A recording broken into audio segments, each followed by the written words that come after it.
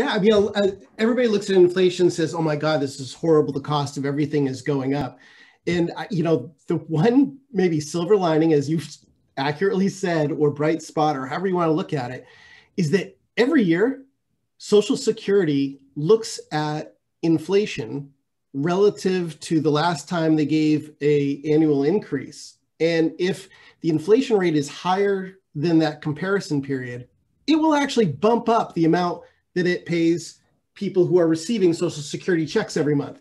So the silver lining of rising inflation is the potential for you know the 60 million or whatever however many uh, retirees out there retired workers are that are out there the silver lining may be that they're going to get more money in their monthly paycheck uh, next year joe and that's i mean that would be huge when you think about last year's increase uh, for for this year. So they they make this decision in October, Joe, every year, and they base it on the third quarter uh, inflation rate, the CPIW, relative to the to the third quarter of the last year in which they did the the COLA increase. So since they increased it for 2021 last October, they'll be comparing this third quarter number to last year's third quarter number.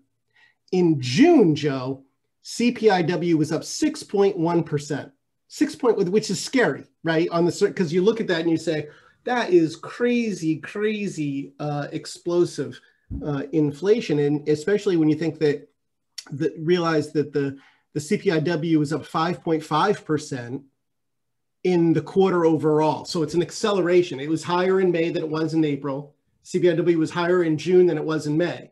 And the June number is higher than the three quarter average. So if, if if these numbers match the June numbers throughout July, August, and September, that 6.1% read in June, that would mean that Social Security recipients could get a 6.1% bump up in their Social Security checks beginning in January. And Joe, the average, you know, retirees, you know, got getting about 1550 bucks per month. So I mean, this the, the you know every little six percent is a lot. That is know, a lot. There's a lot of people uh, out there who will be cheering that news on one side, and then of course hoping that inflation falls sharply next year, so that actually their that their buying power is is better, right? Exactly. Yeah. Yeah. From the from the perspective of of the of you know the two of us are fairly far off from receiving Social Security. I would say I am extremely far off. Uh, but yeah, 6.1% inflation is definitely concerning as somebody myself who is about to enter the workforce. So certainly, certainly something, uh, something to watch, and uh, we'll we'll be keeping an eye on that potential cost of living adjustment, as people always say, COLA. Uh, anything anything else you want to touch on regarding social security todd?